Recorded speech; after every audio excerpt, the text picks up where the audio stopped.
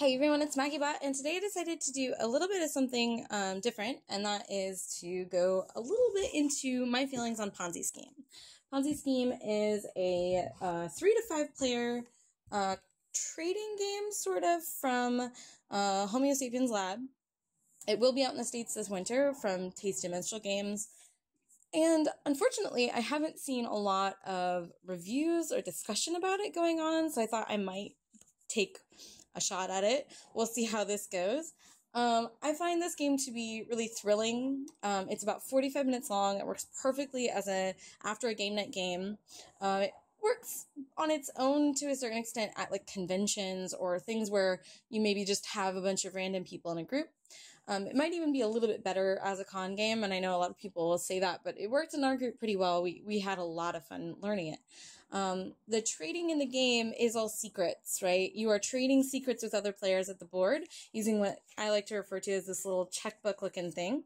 Um, the way it works is that I want a tile from you and you want a tile from me because these are victory points at the end of the game, especially if you can get multiples of the same color. So you pick out someone else at the table who has the same color bit as you, and you put a number of dollars into this hidden envelope. No one else can see. And you hand it to that player and you say, I want your blue industry, please. They take a look at the money and they have two options. They can either just hand their piece to you that you've asked for and take the money, or they can match the money in the envelope, hand it back to you, and then you give them your tile. So you're putting kind of this relative value on these tiles, trying to get people to buy or sell them at, like you want, because you need money for interests and all the loans that you're racking up, but you also need these tiles for points. Um, it makes for a really cool dynamic game, trying to figure out what people value what tiles at, um, especially because they're triangle scoring. So one tile is worth one, but two is worth three, and three is worth six, and four is worth 10. So the more of a given tile you have, the more expensive trying to get more of those tiles tends to be. And that's part of the, the big fun of it, right? Um, it also comes with these kind of outlandish bits, this little envelope. The player screens are like silly chunky. They're crazy thick. Um, it comes with paper money, better or worse, I think it works really well in this game. And this version comes with this like wooden cube to put all the money in, like to keep as a bank. Not sure it was necessary, but it's pretty adorable. Um, the art is nothing to, I mean, it's it's fine. I think it fits the game pretty well. Um, you have cards with bears, cards without bears, and the bears force the, the game to trick players or um, it'll further along the game without people realizing it's going to happen. It's the one kind of stock market part of this, like the randomness that all players have to deal with, which I find to be really, really fascinating. Um, I love trying to figure out what other people are doing, and there is one universal truth of it all. Um, if one player decides to take a bear loan um, to try and take the bears out of the market or whatever they're trying to do, it's the most money, the worst interest. Um, they tend to come up every three turns instead of every four or five turns. Bears can make this game super, super fun. Um, if only one person takes a bear, though, that person's probably going to lose. But if multiple people take bears, they will probably further the game enough where the risk averse player will lose. And I find that to be a lot of fun as well. Trying to negotiate people into taking those bears or avoiding them, um, trying to play to your strengths. Uh, very, very interesting. Um, we as a group have decided not to value most money at the end of the game. We use the luxury items that were included. These are a one time payment for one, two, three, or four victory points. And the more victory points you're buying, the more expensive that is. But that's money being taken out of the game that you can't pay loans with. Um, so it's a very interesting mechanic to me, and it reminded me of Greed Inc. because they do kind of all of your victory points in Greed Inc. are those luxury goods, and so I find that to be very interesting. Uh, I'm going to show you a little bit more about the game, and then you can decide for yourself. Phase one is the funding phase. In the funding phase, you're going to be able to take a loan and a corresponding industry tile based on the number of tiles that you have.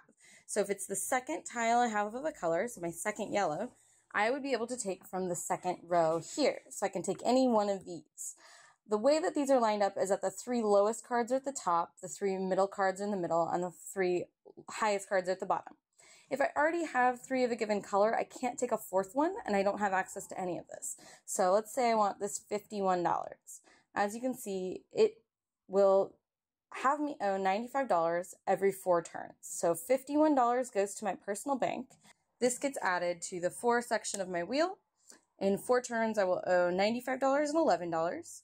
In three turns, $12. In four turns, $13. The next phase is that clandestine trade phase. So in the clandestine trade phase, I spy another player who has a similar color industry tile as me, and I would like that tile. I then will identify some amount of money to put into this envelope. So let's say I put $20 in. This is kind of unrealistic because the third tile is probably going to cost more than $20. But then I hand that to the player and I say, I would like your yellow tile. That player evaluates whether or not to just hand me the tile and take the cash, or they could put 20 more dollars into the envelope. I take the envelope back and they get my tile. The cash goes from here behind the screen without any of the other players knowing quite what was done. Every player gets one chance at the clandestine trading phase, as long as they have some industry tiles in front of them, because you do have to trade only with someone that has a like color with you. Then you're going to pass the first player marker to the next player. Then we're going to do a market crash phase. The way market crash phase works is that the player who is the new first player gets to choose one of the cards on the display to remove from the board permanently. So maybe I want one of these dinky ones from the beginning taken away and I add a new card to the board. I rejigger it so that the lowest, medium, and high are still true. And then we check for a market crash. So the market crashes are looking for these bear cards. Bear cards, if there are as many bear cards as players playing, you're going to remove them all from the board. And instead of your wheel moving once that round, it's going to move twice. Luckily, we don't have that many bears, so we are just going to move the wheel one spot. So that moves one spot this way. And now you can see I've got one more turn before I pay 13, two more turns before I pay 12, and in three turns I owe $106. So I've got to really work on making sure I've got enough cash behind my screen to be able to cover that. After that, anyone that has any cards in front of this red arrow need to pay their interest. And after that's done, those cards will reset. So if I was paying this interest, then it would go back to the four spot, and in four more turns, I would have to see it again and repay that interest. So now you saw the kind of how the regular turn order works. Um, it's really important to note that the clandestine trading is the bulk of the game. That's where most of your really interesting decisions and fun parts of the game happen, as well as removing that uh, card from the market during the market crash phase. Um, because if you can see, maybe there are three players and you can see two bears, maybe I remove a non bear card to try and get the market to crash. Because if people aren't ready for it, that's what ends the game, is if someone can't pay the interest they owe. In a market crash, any cards that the red arrow touches are going to come due and get reset. So if people were planning on having one more round before something really big came up, they wouldn't have that round to prepare. Um, it has led to some of the most funny things in the all of the games I've played. Alright, y'all, you saw a little bit of the gameplay as I showed you. I really hope you give this a chance this winter. It'll be out from Tasty Minstrel in stores, in retail, very, very available. When it first happened at Essen, people were getting like hundred to two hundred dollar offers online for the game, but I'm a little afraid that once it's available and everyone can get it, that that buzz will die off. It is super super worth it. One of my favorite favorite games from last winter, and I really love it. Um, I encourage you all to try it. If you find me at a con and there's a copy, I will totally play it with you. I feel like at BGG Con this year, this will be a big, big thing because it'll be so much easier to get by then that it, it should go into one of those like con always games. But for us in my group, it also worked for our game nights. It was a fun one to bust out at the end of a night or right before the big game started. It's short, it's blessedly short, like 40, 45 minutes. The box says an hour to an hour and a half, so I guess if you're taking it very seriously and mulling over all your options, I guess it could take that long. I guess the one criticism I'll have with the game, and this will depend on your group as well. Um, three and four players, it works beautifully. I've not had any trouble with it. At five players, there are some incidences where if people don't like the way you're trading or they don't like your pricing or they don't like how you're doing in the game, they can just avoid trading with you. There's no there's no um, set rules to who you can pass the envelopes to as long as they have a tile, an industry tile in like with you.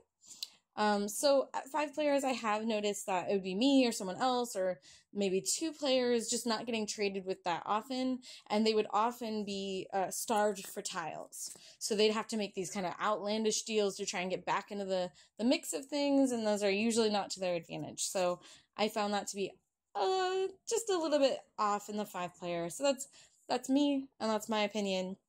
Um, I'm not sure if Tasty Minstrel is changing any of the rules. Uh, if they are, I can't imagine what they would change. It's also clean right now. Uh, the Windrose mechanic, it's really nice to have another game use the Windrose because you don't see that very often, not since Macao. And I just love it so much. I hope it does really well. And if you have questions or anything else, please put them down below. Um, I'd again love to thank everyone on my Patreon for helping make this channel possible.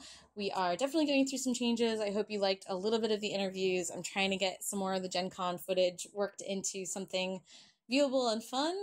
I had a blast, but I don't know if it shows. um, thank you all for watching, and I'll see you next time.